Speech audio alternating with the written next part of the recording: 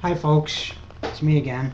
Uh, I wanted to do a video on gold leaf because a lot of customers call me and they don't know what gold leaf is. They think it's paint, they think it's um, maybe sprayed on or brushed on and it is none of that. Uh, it's, it's actually uh, truly 23 karat gold and uh, comes in these three and a half by three and a half inch sheets and this is it. This is 23 karat gold.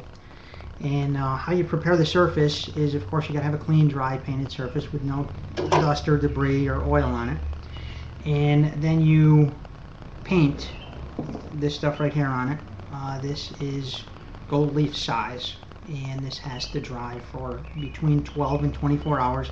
The longer you let it go the better. Uh, you want it to be just just sticky and what I usually do is I do it um, maybe mid-afternoon or so and then come back to it first thing in the morning to see what the tack is on it and usually what I do is I take the back of my finger first thing in the morning and I'll go like this I don't know if you guys can hear that squeak but that squeak tells you that the gold leaf size is just right. Then what you do is you take these leaves and you place them on there and they're sort of delicate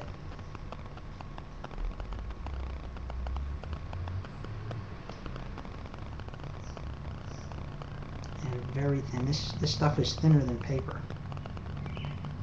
And you just sort of guide it on with the brush a little bit and press it down and it sticks only to where the size is nowhere else if you're lucky sometimes if the paint's not quite dry enough before you put the size on you might have a little problem and these little shavings you can pick off now some places like Proctor's their entire interior on the ceiling there is, is decorated with gold leaf.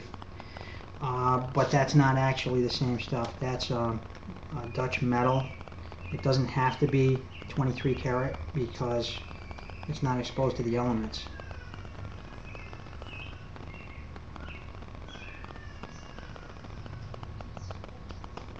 And this is something that's not done a lot in this country.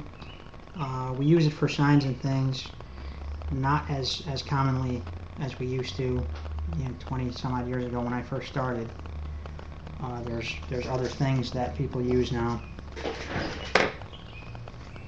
they use paint and, and the like but it never really has the brilliance. When the sun hits this it's so beautiful. If you ever look at the uh, domes on a city hall or a college or something you'll notice that it it glistens in the sun and it never tarnishes.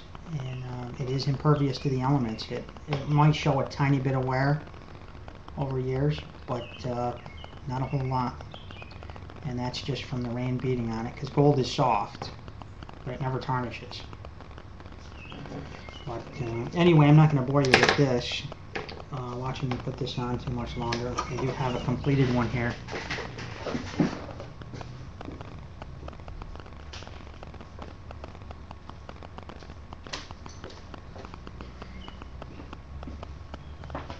This one I did uh, first thing this morning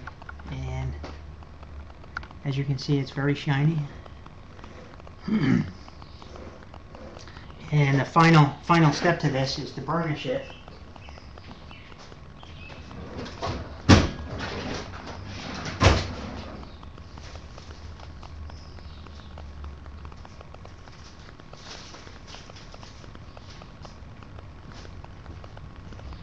And you burnish it just with some some plain cotton like this and what that does is just that takes all your shavings off where the leaf overlaps. Because you don't really want to see that and it just sort of shines it up a little bit. But anyway that is what gold leaf is. And like I said it's not paint. And it is genuine 23 karat. Um, if it is not exposed to any handling, it does not need to be cleared. and you're always better off not to clear it if possible because it just looks better without the clear. But anyway, that's it folks. Thanks for watching.